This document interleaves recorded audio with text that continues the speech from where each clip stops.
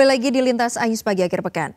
Pemirsa akibat hujan deras disertai angin kencang, pohon beringin di Jalan Arteri Permata Hijau, Jakarta Barat tumbang dan menimpa dua mobil. Dua mobil minibus ini tertimpa pohon beringin yang tumbang di Jalan Arteri Permata Hijau, Jakarta Barat, Sabtu sore saat hujan deras disertai angin kencang. Selain angin kencang, kondisi pohon yang sudah lapuk menjadi penyebab tumbangnya pohon besar tersebut. Beruntung tidak ada korban dalam insiden tersebut.